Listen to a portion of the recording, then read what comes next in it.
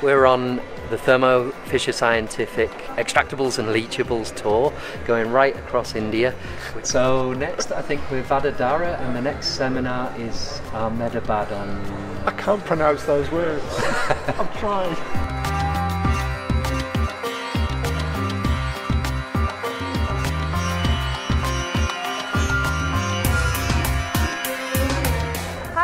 To BioPharMoore. In our last episode we were talking extractables and leachables with Niva in Ireland and this week we fly off to India and we're going to partner with global leaders in materials testing Smithers Rapra to connect with over 700 guests on our extractables and leachables India tour. Now India's home to 74 FDA approved pharma manufacturing sites and that's more than any other country outside the US. Let's go and join my colleague Kyle D'Silva and Dr. Andrew Feilden from Smithers Rapra as they talk extractables with an Indian twist.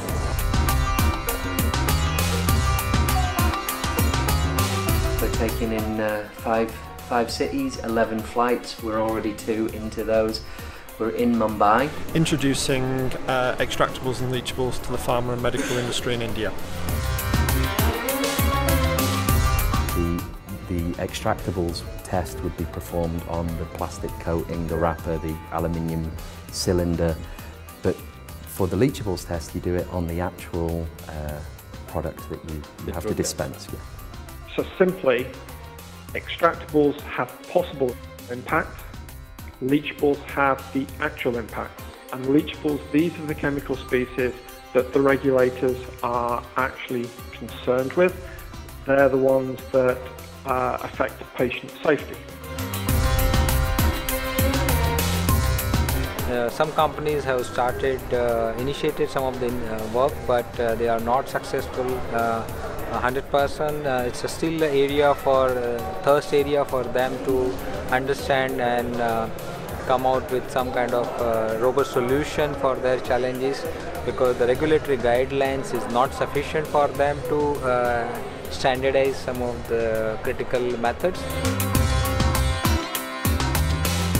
So we're here in uh, Vadodara, India.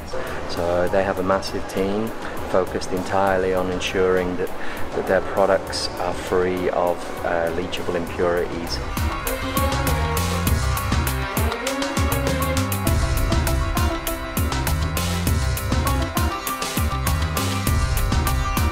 Thursday is the USP meeting, uh, talking, giving a brief introduction to extractables and leachables with specifics around USP, specifically 661, 1661, 1663 and 1664 and they're looking at everything from residual solvents to elemental impurities and uh, extractables and leachables.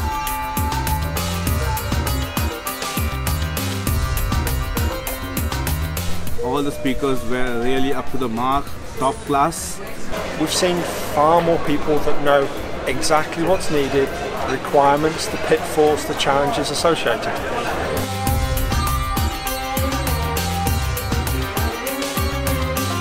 What are you doing next week? Keeping silent. next for me, uh, shower, uh, and then home. Bye. Thanks for joining the team in their journey across India. You can find Extractables and Leachables regulatory webinars and application notes from collaborations between Smithers and Thermo Fisher, as well as a host of other great content in our Extractables and Leachables Learning Centre. Go to thermofisher.com forward slash learn leachables.